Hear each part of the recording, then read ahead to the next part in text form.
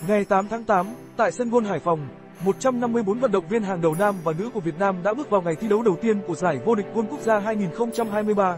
Thời tiết nắng đẹp cùng làn gió nhẹ nhàng đã đồng lòng ủng hộ cho các golfer hoàn thành xuất sắc ngày thi đấu mở màn trong hành trình chinh phục ngôi vô địch. Tại bảng thi đấu nam, tuyển thủ quốc gia Nguyễn Đặng Minh đã kết thúc vòng đấu đầu tiên với điểm số ấn tượng là 66 gậy, trừ 6. Anh bắt đầu từ hố 10, có khởi đầu thuận lợi với hai birdie ở hố 12 và 13, trước khi có mắc bogey duy nhất trong ngày ở hố số 14.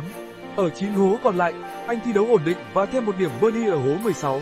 Ở nửa cuối chặng, Đặng Minh thi đấu xuất sắc với 4 điểm birdie nữa ở các hố 1, 2, 6 và 7.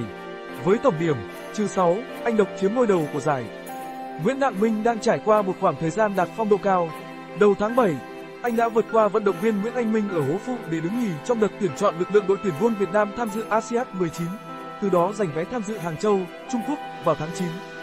Chưa đầy một tuần trước đó, tại sân gôn Vinpearl Hải Phòng, golfer 18 tuổi đã giành ngôi vô địch chặng 5 hệ thống giải trẻ Junior Tour do Hiệp hội Gôn Việt Nam VGA tổ chức với tổng điểm trừ 7 gậy. Phong độ cao cùng sự quen sân đã giúp golfer sinh năm 2005 tiếp tục thăng hoa ở vòng một giải vô địch gôn quốc gia 2023. Sau vòng 1, tổng cộng có 5 golfer nam ghi điểm âm, trong đó cái tên nổi bật là vận động viên Đặng Minh.